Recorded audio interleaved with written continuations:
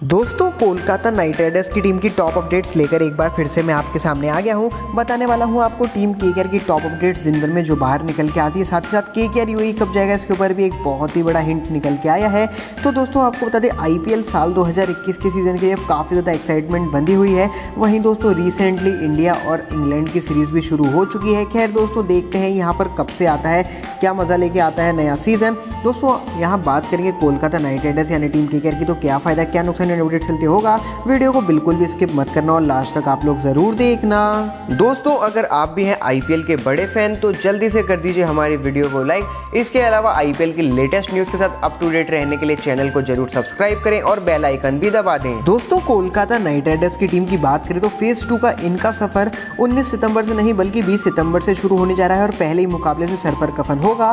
तो आप नीचे ज़रूर कमेंट करके बताना कि केकेआर को पहले ही मुकाबले से कैसा खेलना चाहिए अटैकिंग या फिर डिफेंसिव टॉप अपडेट्स की अगर बात करें तो पहली अपडेट आ रही है पैट कमिंस के रिप्लेसमेंट को लेकर।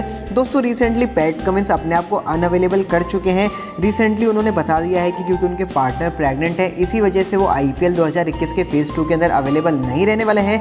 कि क्या तो उनको मिस करेगा ही? इतना ज़्यादा गेंदबाजी में मिस नहीं करेगा, जितना ज़्यादा लोअर बैटिंग ऑर्डर के अंदर मिस करेगा। रिसेंटली दोस्तों, आपको बता दें के के सबसे महँगे खिलाड़ी हैं और काफ़ी अच्छा परफॉर्मेंस उन्होंने दिया है।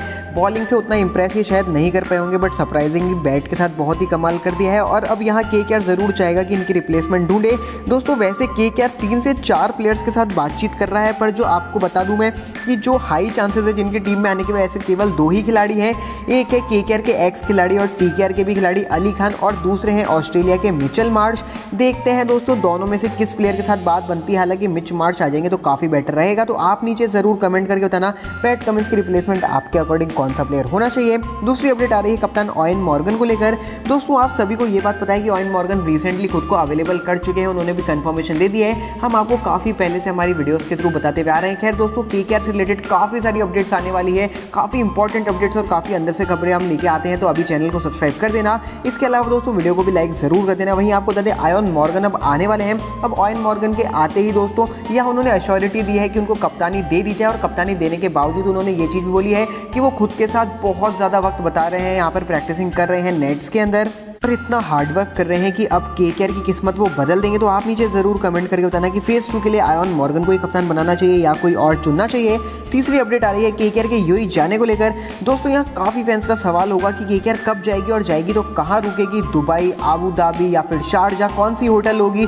क्या क्या उनकी डिटेल्स होने वाली है? दोस्तों, आपको बता दें कि यहाँ डिटेल्स की बात करें तो यहाँ कहाँ रुकेगी? इसके ऊपर कोई अपडेट नहीं है बट कब जाएगी? इसके ऊपर एक बड़ी अपडेट है, जहाँ दोस्तों रिसेंटली आपको बता दें कि मिड अगस्त तक के नहीं जाने वाला है। यूएई और मिड अगस्त के बाद डेट्स अपडेट कर दिए जाएँगे। तो दोस्तों, ये थी टीम के केयर की टॉप अपडेट्स वीडियो को लास्ट तक देखने के लिए धन्यवाद। चैनल पर आपने है तो चैनल को ज़रूर सब्सक्राइब करें और वीडियो को भी ज़रूर लाइक करें।